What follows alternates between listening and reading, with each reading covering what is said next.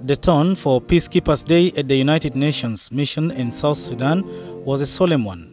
16 peacekeepers have died here while carrying out their duties to help in the betterment of South Sudan. The special representative of the Secretary General in South Sudan, Hilde F. Johnson, and the Minister of Information for South Sudan, Barnaba Marial Benjamin, laid wreaths in their memory and a moment of silence was observed for the fallen. The SRSG spoke on the theme of this Peacekeepers Day, adapting to new challenges. In the past year, South Sudan has faced many and difficult challenges that have constantly tested the country, its ability to adapt and overcome them. UNMISS resolve and ability to tackle these new challenges has also been tested. The people of South Sudan have taught us a powerful lesson. Never surrender to pessimism. Their resilience, which brought independence to this country, has also helped it overcome the daunting challenges of going through 18 months virtually without government revenues.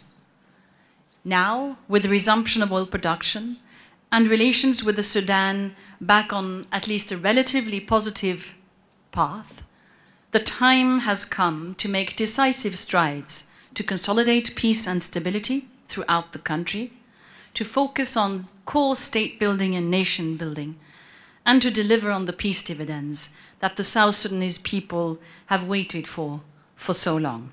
Minister of Information Barnaba Marial Benjamin praised UNMISS for its work. The role of the United Nations in keeping peace throughout the world is much more felt in the Republic of South Sudan.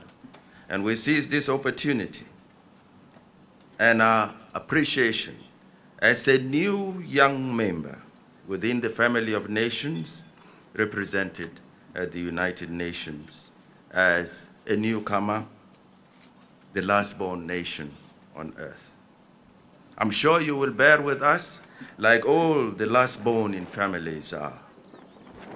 Despite breaking glasses, they are always laughed and touched on the head and encouraged to proceed. I'm sure the role of the UN in the Republic of South Sudan is appreciated, Your Excellency, not only by the government, but by the people of the Republic of South Sudan. Our experiences with UNMISS has been a wonderful experience, Your Excellency.